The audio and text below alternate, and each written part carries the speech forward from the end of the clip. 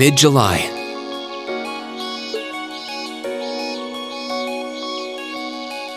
Summer had come to Trista, and that meant it was time for us students to dust off our short sleeved shirts.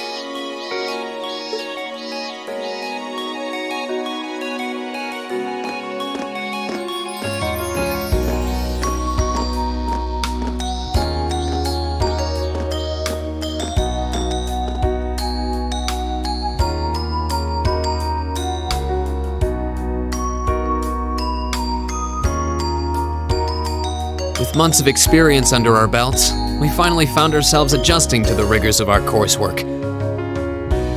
And it was during those early days of summer, before the heat became well and truly withering, we saw the start of a uniquely seasonal new lesson.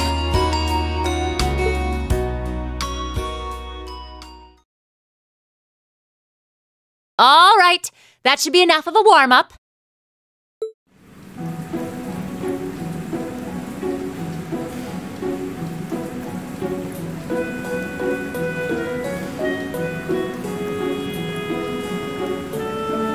I'm supposed to remind you that swimming classes here are meant to teach you skills relevant to military service. You know, how not to drown if you wind up in the water, how to save others from drowning, CPR, that kind of stuff. In fact, CPR is a pretty vital skill on any battlefield. Rean, Alisa, would you care to give us a demonstration? Ah, instructor! In front of everyone? Come on, guys, just kidding around. Point is, it's still important that you learn how to do it and that you won't hesitate to use it if the need arises. Whether that means locking lips with someone of the same sex or the opposite. Uh, Of course. Well, it is a skill we can use to save someone's life. After we've covered that, I'll be timing how long it takes each of you to swim the length of the pool. Will you give me a hand, Laura? As you wish.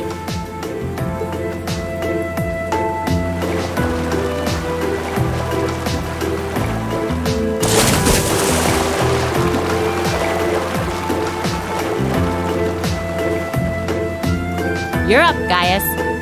Ready and go! You're next, Emma. Ready?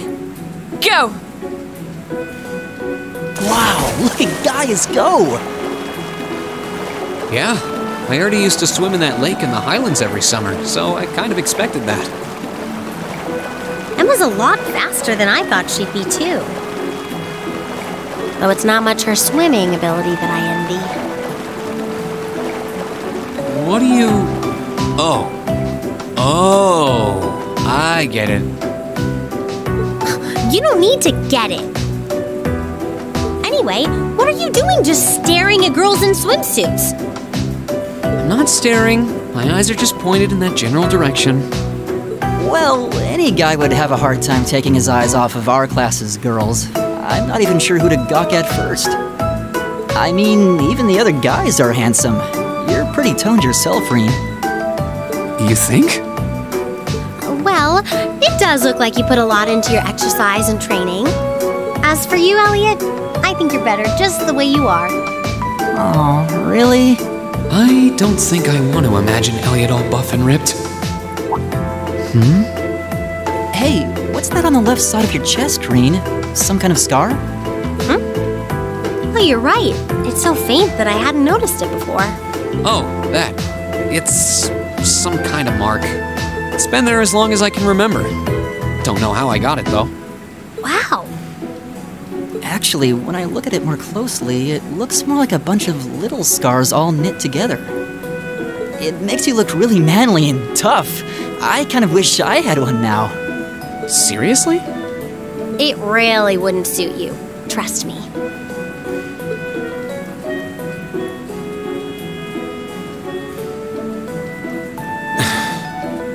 Can't believe we finished with the exact same time. We must be destined to strive against each other forever. What are you talking about? The only one I was competing against was myself. And even then, I barely put much effort into it. Well, it's not like I was giving my best either. These two. That was refreshing.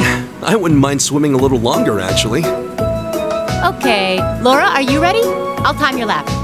Though I doubt I really need to, considering you're in the swimming club. No, please do. So Laura's next.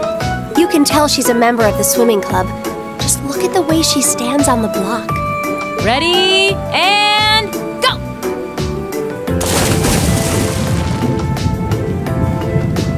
Whoa, she's fast. Uh, how is she doing it? Impressive.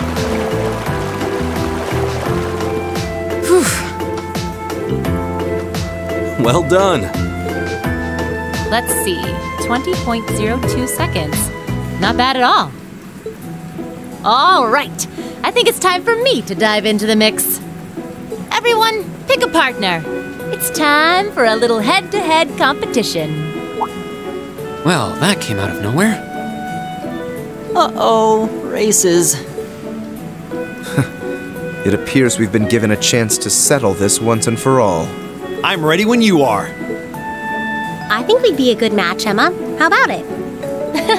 True, our times were pretty close. Hmm. How about it, Laura? Want to partner up with me? Not today, I'm afraid. I wish to challenge Fie this time. Me? Laura?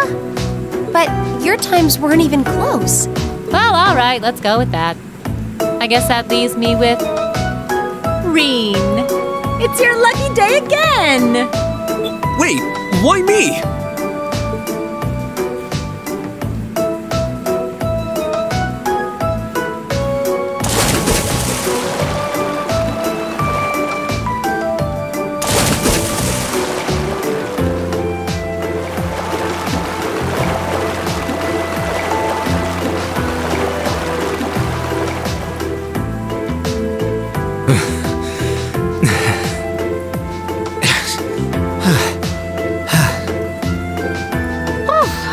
Exhausted. You know, this seems like it would be pretty effective as part of a diet plan. Okay, let's see what you got. Y- yeah. There's no way I'm going to win this, is there? Go easy on me, guys. Same to you. Ready? Go!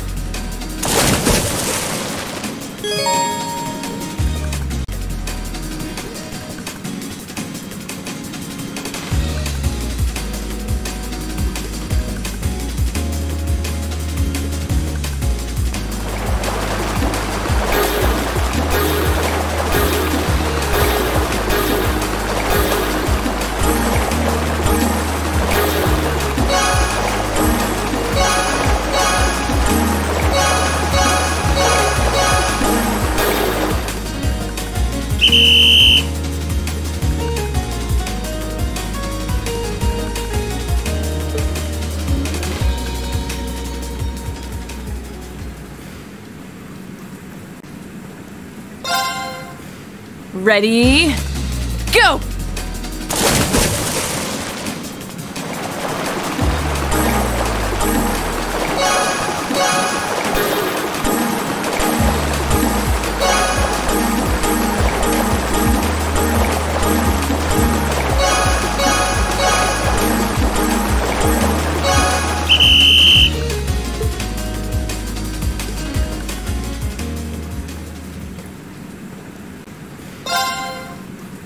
Ready?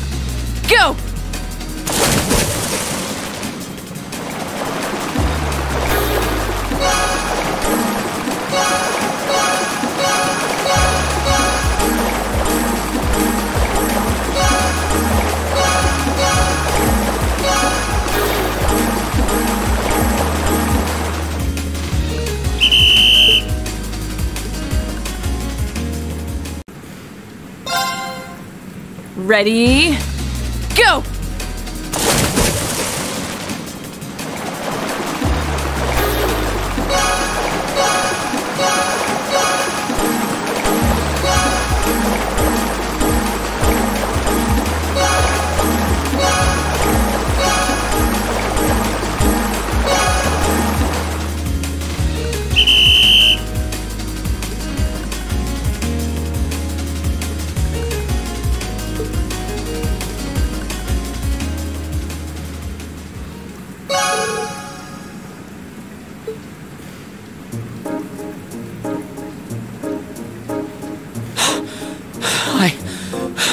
Actually won.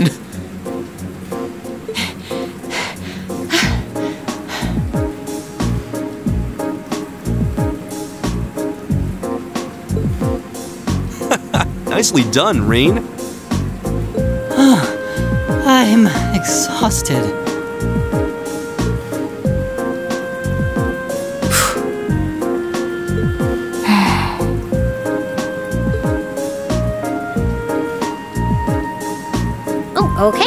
You both ready?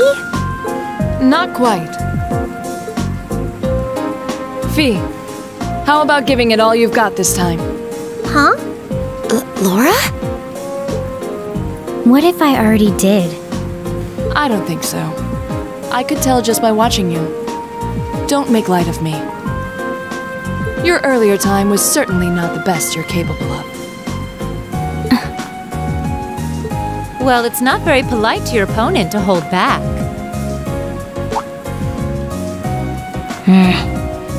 this isn't like the battlefields you grew up fighting on. It's a place you can grow and better yourself by challenging others. Deep down, I know you realize that.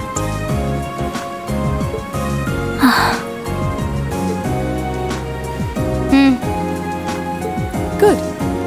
Then let us begin.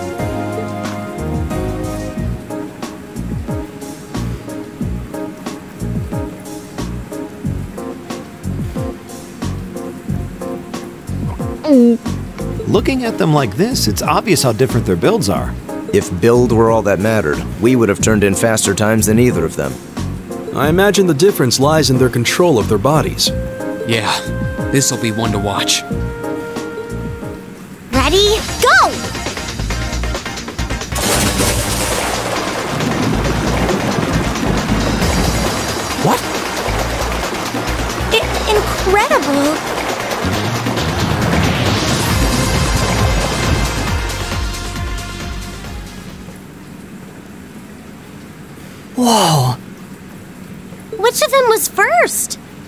Was too close to call. No, there was a tiny difference. Laura came out ahead on this one.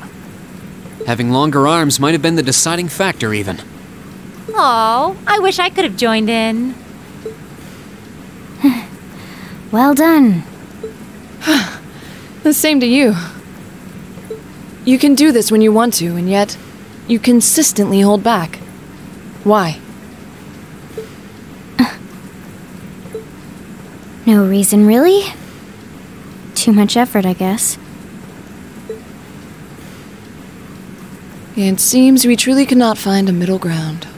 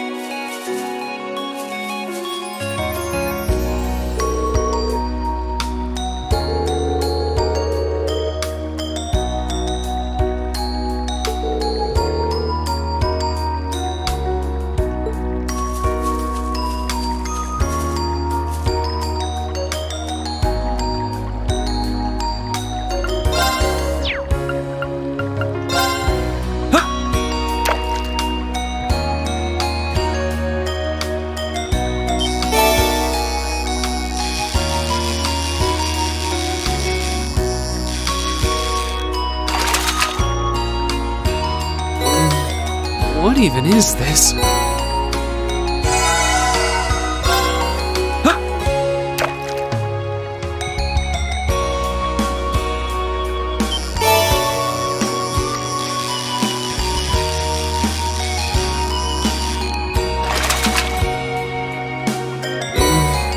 What even is this?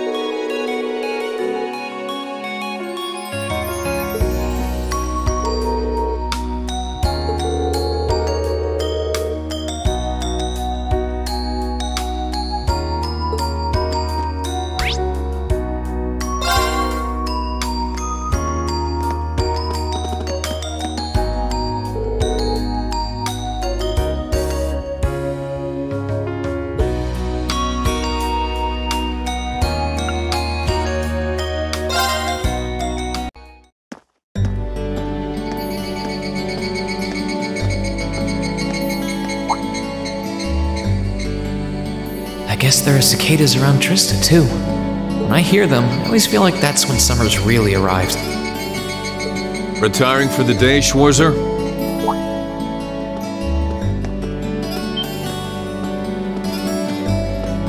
Instructor Neithardt. Yes. Are you heading out too? Indeed. I have some business to take care of with my division, so I'll be returning there tomorrow. With that on the agenda, I thought it wise to finish the day's work early. Your division? Oh, yeah. You were sent here by the Imperial Army, right? Correct, though because of that, it's difficult to keep a regular schedule here. Anyway, while I'm here, I want to acknowledge the work you did during your field study last month. You mean that incident in Nord? The same. Reading the Army's report, it seemed that armed conflict with the Republican Army was a real possibility.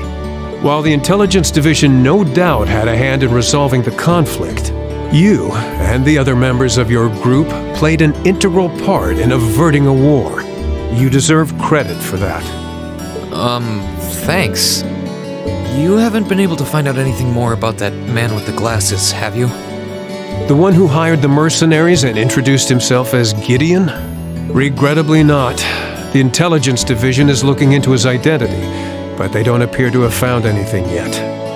Personally, I wouldn't be at all surprised if they had discovered something already, but chose not to share it with us. I see.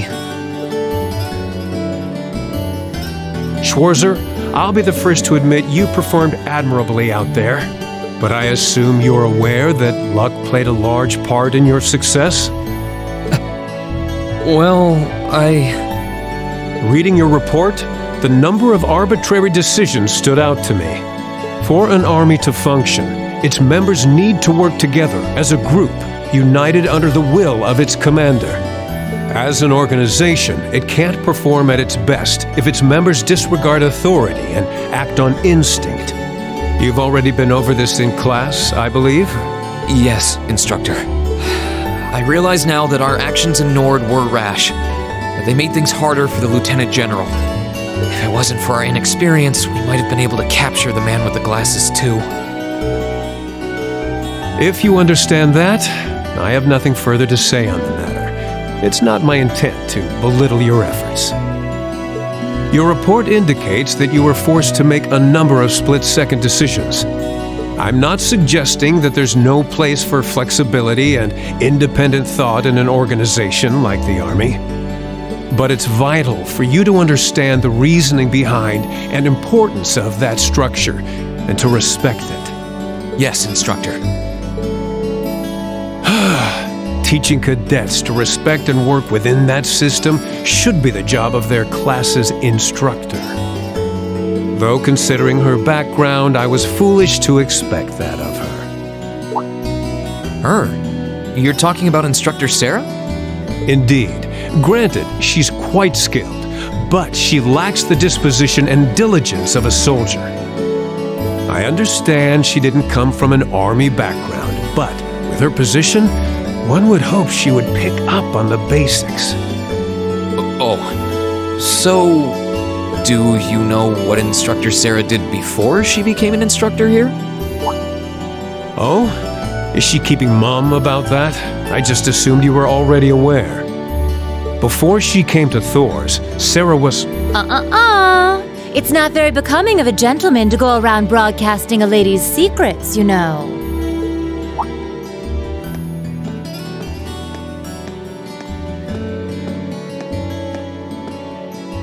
Instructor Sara. Instructor Valestein. I totally understand where you're coming from. You meet a beautiful, captivating lady and you want to know more. But don't let hard headed officer types like our friend here rub off on you too much. Got it? You always play by the rules, and you'll find yourself in a jam someday when you encounter people who don't. I instructor? You're one to talk. I hardly think a capricious instructor who leaves everything to chance is capable of guiding our cadets to greatness. Well, of course, I couldn't do a better job than the ace of the 4th Armored Division. Or was that the Provincial Army? I mean, you've got the whole tradition and status are everything mindset down pat. Hmm. These two really don't seem to get along. First Sharon, now Instructor Neithardt. Instructor Sara almost seems like she's spoiling for a fight. Who do we have here? Well, if it isn't Instructor Sara and Instructor Neithardt.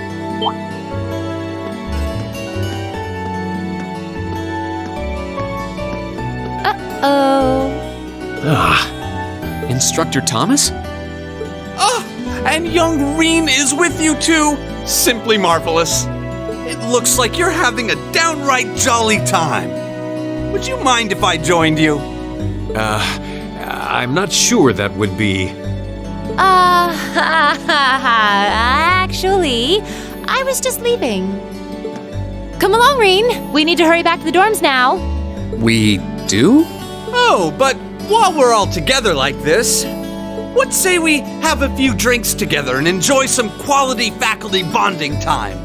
I heard the two of you really know how to hold your liquor.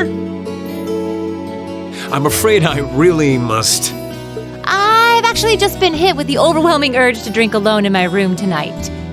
Now, now, there's no need to be shy. Uh, we're all friends here. Oh, I know. Why don't you come along with us, Rean? We can't float a beer your way quite yet, but I'd be happy to treat you to something else. No, it's quite all right. You teachers are always so busy, I'd hate to get in the way of your quality bonding time. So, if you'll excuse me, I'll be sure to let Sharon know that you're having dinner out tonight, instructor. No, Rean, well, wait! What kind of heartless monster are you? Get back here, Rean Schwarzer! well, shall we be off? I. I couldn't possibly. I need to depart early tomorrow morning, so I really must insist.